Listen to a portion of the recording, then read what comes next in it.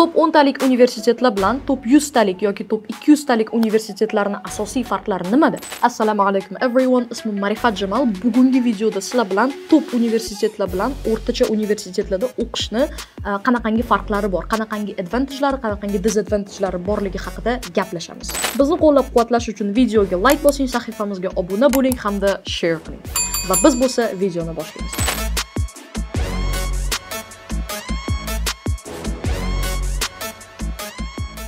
Agarda siz hozirgi kunda o'quvchilardan ya'ni universitetga topshirish uchun e, tayyorlanayotgan o'quvchilardan so'rasangiz ko'pincha holatlarda o'ntadan yettitasi sizga javob beradi a man top universitetlarga tayyorlanyapman yoki bo'lmasa man ivy leaguega harakat qilyapman yoki bo'lmasa aytaylik nufuzli universitet bo'lishi kerak man topshiradigan universitet degan e, javoblarni eshitasiz. Lekin umumiy holatda bizada aytaylik nima uchun odamlar nufuzli universitetlarga bunchalik darajada harakat qilishadi? Nima uchun masalan aytaylik odamlar garvardga kirishni xohlaydi nima uchun mitga nima uchun stanfordga kirishni xohlaydi bular shunchaki aytaylik odamlarni orasida haypmi yoki bo'lmasa realni qanaqadir aytaylik ishlaydigan sabablari e, rostakam bo'lgan aytaylik qanaqadir bizga foydali taraflari bormi? Bu haqda bugun siz bilan to'liq gaplashamiz. Assalomu alaykum everyone. Bugun sizlar bilan top universitetlar bilan aytaylik o'rtacha universitetlarni aynan nima farqlari borligi haqida gaplashamiz подробно так birinchi holatda ko'pchilik aytaylik universitetga topshirayotgan paytda asosiy motiv nima bo'ladi? Ularda masalan asosiy aytaylik xohlaydigan narsasi bu то есть tabiiyki bu o'ziga mos bo'lgan o'ziga aytaylik kelajakda yoqadigan bu ish e, ish topish. Ya'ni aytaylik karyera yoki bo'lmasa qo'pol qilib aytganda soqqa topish. То есть hozirgi kunda agarda aytaylik o'quvchilardan so'rasangiz ko'pchiligi man top universitetga topshiraman chunki top universitetdan qaytib kelganimdan keyin manga ish уже tayyor bo'lgan bo'ladi deydi. Ya'ni bu bizada e, aytaylik universitetga topshirish o'zi juda yam aytaylik kam o'quvchini oladi va agar u universitetni bitirib chiqsam mani nufuzimga yana nufuz qo'shiladida manda bemalol aytaylik ish bo'yicha problema bo'lmaydi deb o'ylashadi. Lekin umumiy holatda e, bu sizga kafolatlanmagan. Chunki agarda aytaylik siz hozir orzu qilayotgan bo'lsangiz aytaylik nasada ishlashni yoki bo'lmasa teslada ishlashni ya'ni shunaqangi top top kompaniyalarda agarda ishlashni siz aytaylik plan qilayotgan bo'lsangiz o'zingizni sohangiz bo'yicha faqatgina aytaylik siz bu bo'yicha o'zingizni degreezni ya'ni qanaqadir diplom nufuzli universitetdan diplom olishni o'ylashingiz bu noto'g'ri chunki shunaqangi statistikalar shunaqangi faktlar borki aytaylik e, masalan universitetlarni zo'rini bitirib chiqqan garvard mitni bitirib chiqqan odamlar ham ba'zi holatlarda reject bo'lgan. Endi garvard mitga bu tegishli bo'lmasligi mumkin lekin o'sha aytayotgan top o'ntalik top yigirmatalik universitetni bitirgan hattoki o'zini sohasidagi mutaxassislarga ham hattoki o'sha o'zlari xohlagan ish E, bazada nasib qilmagan. Buni sabablari nima uchun? Chunki har doim e, universitet qayerda o'qiganingizdan qat'iy nazar baribir sizda qanaqadir skill bo'lishi kerak qanaqadir o'zingizga yarasha aytaylik o'sha sohangiz bo'yicha qobiliyat bo'lishi kerak. Bu narsa e, gapirishim ham даже shart emas. Bu narsa o'zi shunchaki fakt. Ya'ni aytmoqchi bo'lgan narsam top universitetda o'qib kelishingiz hech qanaqasiga sizni mana shu joyga to'liq ishga kirasan degan kafolatni bermaydi. Ikkinchi navbatda bu aytaylik maosh masalasi. Rostdan ham biz aytaylik o'sha top universitetni bitirib kelsangiz eng katta maosh sizniki masalan e, o'sha yilda siz bilan boshqa oddiyroq universitetni bitirgan talaba kelyapti va siz e, yaxshi universitetni bitirib kelyapsiz. Top yigirmatani masalan. Sizni oylik olishingiz ko'proq bo'ladimi yoki umuman e, olganda ikkovlarniki teng bo'ladimi? Aynan shu masala bo'yicha us newsda shunaqangi artikl chiqqan. Nomi ham juda yam qiziqarli. The ivy league earning smith. Ya'ni ivy league universitetlarni bitirib chiqqan ya'ni ivy league nimaligini bilamiz oldindan ya'ni eskidan ochilgan universitetlar masalan nechidir asr mobaynida ishlab faoliyat yuritib kelayotgan universitetlarni ivy league deb nomlaymiz va aynan o'sha ivy leaguelar eng nufuzlilari sanaladi. Shu universitetni bitirib chiqqan odamlar rostdan ham maoshi katta bo'ladimi? Ya'ni maosh bo'yicha o'quvchilar aynan aytaylik o'sha bitirib chiqqan spetsialistlar monopoliya hosil qiladimi? Yuqori maoshlar bo'yicha.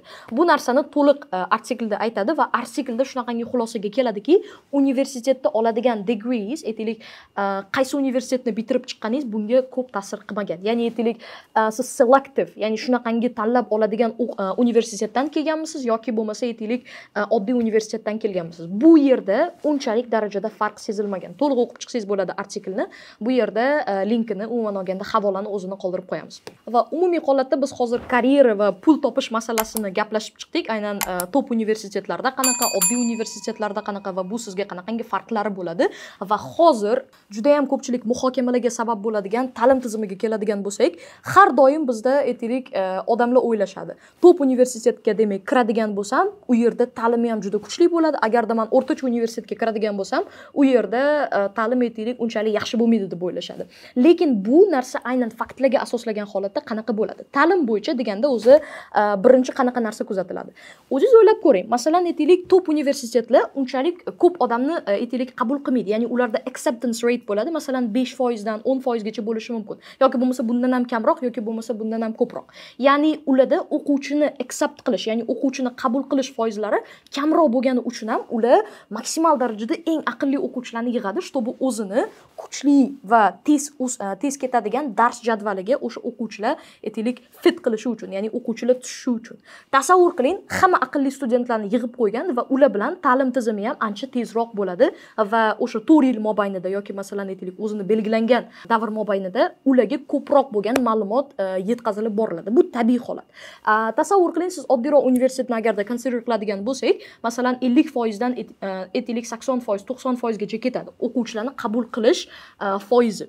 Tabiiyki u yerda o'quvchilar har xil darajali bo'ladi. Masalan kimdir aytaylik o'zini sohasida umuman e, aytaylik anaqaga ega bo'lmaydi experiencega ega bo'lmaydi kimdir aqlli bo'ladi ya'ni u narsada ham har xil o'quvchi bo'lgani uchun ta'lim tizimi ham ya'ni aytaylik sistema ham shunga qarab ketadi. Yoki sekinroq yoki aytaylik ozgina tezroq ya'ni o'ziga yarasha bo'ladi. Aynan shu narsani ko'pchilik Э, ta'lim tizimini sifati deb baholaydi lekin bu shunchaki aytaylik e, tezlik ya'ni ta'limdagi tezlik darslarni bo'lishidagi tezlik ko'proq kontent bo'lishidagi tezlik. Bu birinchi masala edi. Ikkinchi masala professorlar haqida gapiriladi top universitetlarda обязательно top professorlar bo'ladi то есть o'zini e, sohasi bo'yicha э, nomdor professorlar bo'ladi o'zini sohasi bo'yicha shunaqangi ko'p yutuqlarga erishgan nobel mukofotlarini olgan professorlar bo'ladi deyishadi. Bu narsa rostdan ham bor lekin hech qachon aytib bo'lmaydi bu universitetda dom e, aytaylik professor zo'r bu universitetda professor e, yaxshi emas deb turib hech qachon aytib bo'lmaydi. Chunki har bir universitetda o'ziga yarasha professorlari boshqalari yaxshi bo'ladi.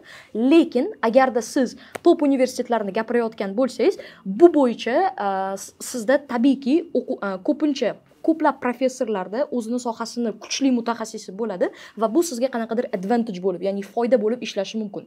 Ya'ni tasavvur qiling bitta odamni yonida o'tiribsiz masalan o'zini sohasi bo'yicha shu darajada ko'p ishlagan shu darajada aytaylik e, yutuqlarga erishgan masalan e, biology aytaylik professorni oldida o'tiribsiz va u nechidir marta aytaylik nobel mukofotini sovrindori yoki bo'lmasa qanaqadir yana shunaqangi e, aytaylik nomdor mukofotlar sovrindori. Ya'ni o'zini ishini реально sevadigan odam. Ya'ni ular bilan shuncha shunchaki bitta atmosferada o'qish bitta atmosferada aytaylik bitta xonani ichida o'tirish ham qanaqadir sizga turtki beradi. Va uchinchi narsa bu e, tasavvur qiling siz aytaylik birorta sohani o'qiyapsiz va o'sha soha bo'yicha research qilishingiz. E, bilamiz masalan har bitta o'zi universitetda o'quvchilarga research qilishga ya'ni tadqiqot ishlarini olib borishga qo'yilib beriladi va bu o'z o'zidan o'rtacha universitetlarda bunga ham e, funding ya'ni aytaylik ham finansoviy то есть moliyaviy taraflama ham boshqa taraflama aytaylik bu narsaga kamroq aytaylik e'tibor ajratilgan bo'ladi. Masalan ko'rganman ko'plab universitetlar universitetlarda masalan aytaylik o'rtacha universitetlarda bo'ladigan bo'lsa o'quvchilar agarda birorta narsa ustida tadqiqot olib bormoqchimiz bu narsa qilamiz desa ba'zi paytlarda universitetlar bizni bu narsada masalan moliyaviy sharoitimiz yo'q yoki bo'lmasa aytaylik biz bu narsani yetkazib berolmaymiz degan narsalar aytishadi. Ey katta pul kerak o'g'lim. Lekin umumiy oladigan bo'lsak e, hozirgi top universitetlar masalan top universitetlar emas top ikki yuz top uch yuzta universitetlarda bu narsa уже ancha hal qilingan bo'lishi kerak. Ya'ni siz bilan hozir ta'lim bo'yicha uchta narsani e, ta'kidlab o'tdik. Birinchisi bu yuqori tezlikda ketuvchi ta'lim. Va ikkinchisi professorlar va uchinchi narsa resurslar va fundinglar ya'ni sizga tadqiqot ishlariga bo'lgan aytaylik resurslar. Va oxirgi narsa bu tabiiyki networking. Ya'ni networking qanaqa? Tasavvur qiling siz aytaylik top universitetda o'qiyapsiz lekin bu yerda o'rtacha universitetda bor. Tabiiyki ikkala universitetda ham aqlli studentlar yoki bo'lmasa o'z ishini sevib qiluvchi studentlar ko'p. Ikkalasida ham tabiiyki bo'ladi. Masalan oddiy maktabni agar oladigan bo'lsak har bitta maktabda dangasa yoki bo'lmasa o'zini ishini kishini e, mukkasidan ketib qoladigan o'quvchilar bo'ladi. Ya'ni networking umumiy holatda ikkalasida ham bir xil bo'lishi mumkin lekin aynan tasavvur qiling sizda ivy leaguelarda yoki bo'lmasa top ya'ni nufuzli universitetlarda o'qiganingizda bu tipa siz e, katta hovuzdagi kichkina baliqqa o'xshab qolasiz. Lekin agarda siz e, o'rtacharoq universitetda o'qiganingizda siz aqlli student bo'lsangiz bu degani siz kichkinagina hovuzda katta baliq bo'lib qolasiz. Ya'ni qaysi biri yaxshi deb turib odamlar ko'p debat qilib kelishgan lekin umumiy holatda sizga o'zim maslahat beradigan bo'lsam конечно же top universitetda networking yoki o'sha atmosferada yashagan yaxshi. Chunki siz u o'sha atmosferaga aynan o'sha hovuzga siz уже o'rganib boshlaysiz. Ya'ni umumiy qilib aytadigan bo'lsak e, hozir sizlar bilan to'liq gaplashib chiqdik. E, qaysi tarafi yaxshi qaysi tarafi yomon. Masalan aytaylik karyera sohasida umumiy holatda ikkalasida ham ishlamasligi mumkin. Masalan top universitetni bitirganlarga ham ish bo'lmasligi mumkin o'rtacha universitetda bitirganlarga balkim ish topilar. Ya'ni bu narsa o'zi постоянно debate bo'lib kelgan holat.